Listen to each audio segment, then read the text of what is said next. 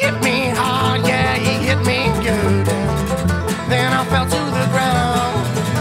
But I kicked him fast, I kicked him real swift. He came a tumbling down. Took a stab at me and nearly cut my gut. I kicked him knife to the floor.